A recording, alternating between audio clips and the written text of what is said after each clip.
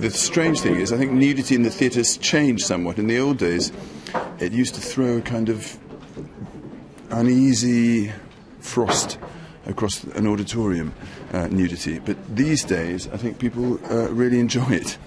And I think we got a lot more bums on seats because of the nudity. So um, it's great. Thank you, Tom, Ben, and Kirsty. Nobody would want to see me with my clothes off. I mean, I'm usually with the lights off, so I don't think I would be brave enough. I had to actually do, I don't know if I can say this, but um, only yesterday I had to do a scene with not much on, and I was so terrified. It was a, but it's TV, so they shot round it. You never really see anything, but that petrified me enough. So to be just on stage with everything off, no, I don't think I could do it. No. But you know, hats off to the people who do do it. Currently, I'm in Californication um, on Showtime, and I'm naked about half the time.